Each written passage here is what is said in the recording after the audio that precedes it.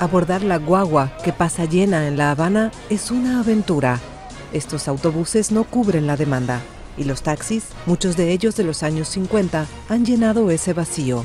Pero nuevas normas para su circulación les hizo pisar el freno y complicó el transporte en la isla.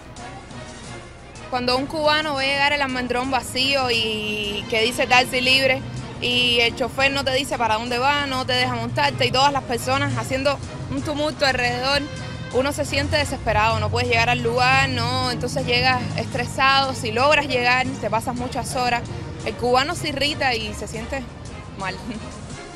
El nuevo plan de reordenamiento y control del transporte no estatal, que el gobierno definió inicialmente como un experimento, obliga a los taxis privados a una revisión técnica para circular. La situación es complicada en un país con abundancia de autos antiguos para los que en muchos casos ya no existen repuestos.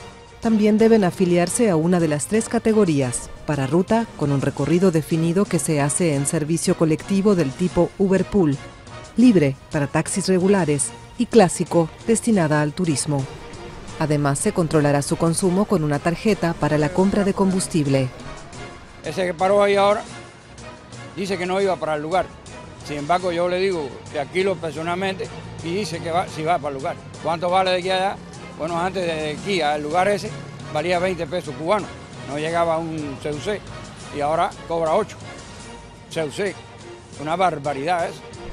Como parte del plan, el Ministerio del Transporte comenzó a entregar el 7 de diciembre las licencias para los taxis. De los casi 1.500 que se presentaron a la revisión técnica, aprobaron poco más de 200.